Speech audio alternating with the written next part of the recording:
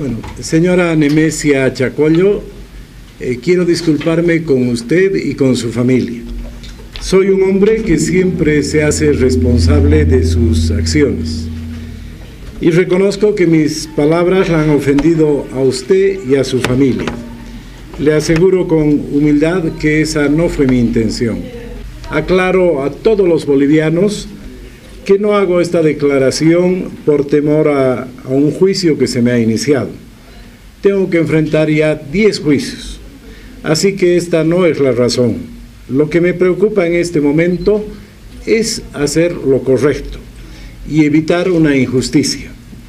Desde el principio mi eh, preocupación fue justamente esta, que los poderosos no puedan abusar de las mujeres.